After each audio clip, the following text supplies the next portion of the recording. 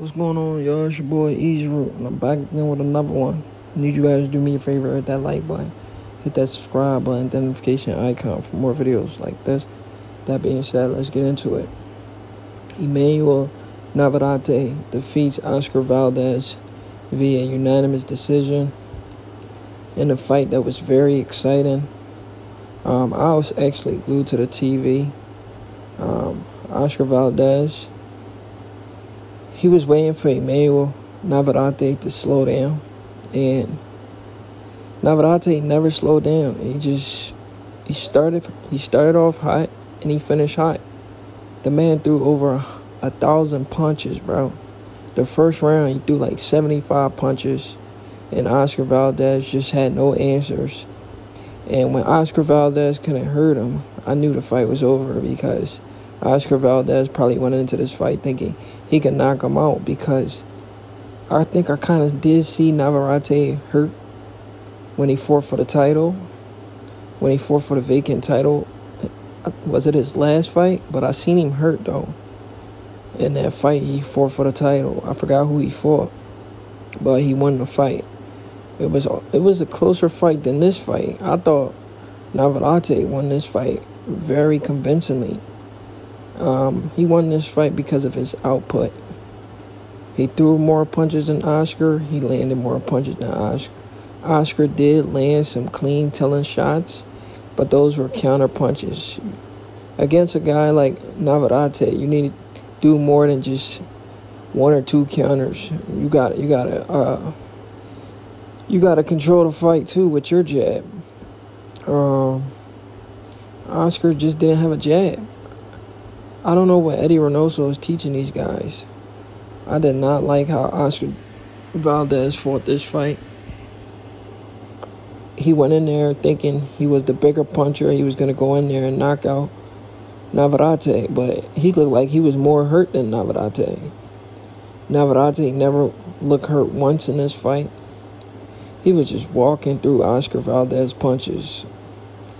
Oscar Valdez was landing vicious body shots but nothing seemed to shake Navarrete.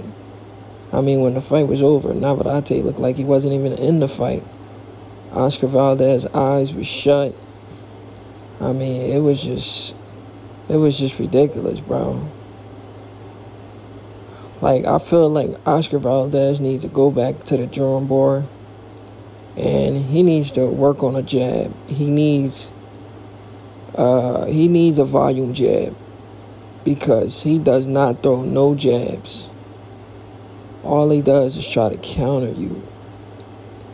You know, if if he fights like that a lot, he's gonna lose a lot. He's gonna lose. I'm surprised he haven't lost that that many punches. He fought the same way against Shakur Stevenson.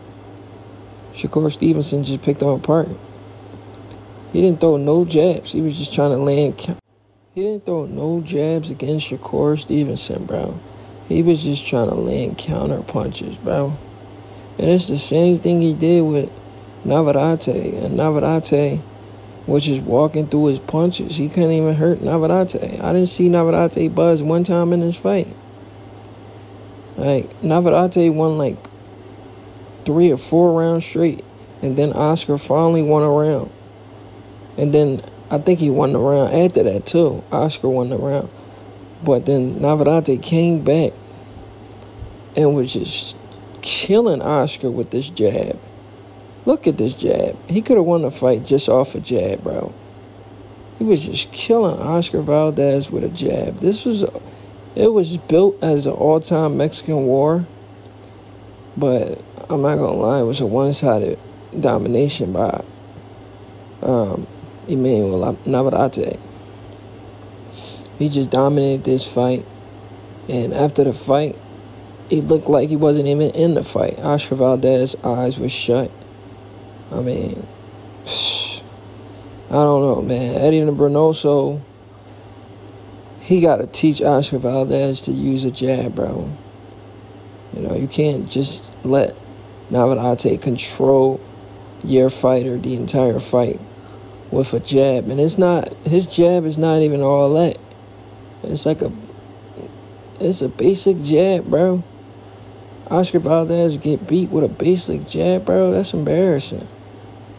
It wasn't like no power jab and nothing. He was just he was just touching Oscar, just letting his hands go pretty much. I think Navarrete goal was just to let his hands go, just touch Oscar as much as he can. And that's what he did, man. He, he just touched Oscar at will. I mean, Oscar showed some real good defense when he was fighting off the back foot, but that left uppercut, Navarrete would throw the jab and then and then slip. If Oscar would have threw a jab, he would slip Oscar jab and come with that left uppercut and then come over the top with a with a left hook. I mean, he was hitting Oscar so hard he hurt his right hand. but the crazy thing is, he's a true Mexican warrior. Even though he hurt his right hand, he was still letting his hands go. So shout out to Navarrete, man. He won me as a fan tonight. From the way he fought Oscar Valdez. After the fight, the asked the asked uh, Navarrete, do you want to run this fight back? He says, it's up to the fans. If the fans want to see it again, why not? Me personally, I don't think they need to run it back. I think it'll be the same result. The reason why I think it'll be the same result because Oscar couldn't hurt Navarrete. If he could have hurt him at least one time in this fight, then I think he might have a shot. But if you can't hurt this man, and this man just keep coming forward, there's no way you're gonna win the fight. You know.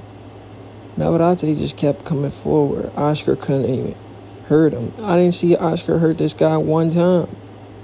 And that's the crazy thing. I seen Navarrete look like he was hurt when he fought for the championship. When he fought for the vacant belt. I forgot who he fought, but he looked like he was hurt in that fight a couple of times. But um, Oscar just couldn't hurt him. And I'm surprised. Going into this fight, I'm not gonna lie to y'all. I thought Oscar was gonna gonna clip Navarrete, probably stop him. But it was a different story, man. Navarrete, he proved me wrong. He went in there, and he did what he had to do. Dominated this fight from round one to round 12 an impressive performance. Great Mexican fight. These dudes got hurt. They put on the show tonight. Oscar tried to do his thing, but Navarrete was just too much for him. The volume punching of Navarrete was the ultimate factor. And if they do it again, I'm not betting against Navarrete. But hey guys, do me a favor, hit that like button, subscribe button for more videos like this.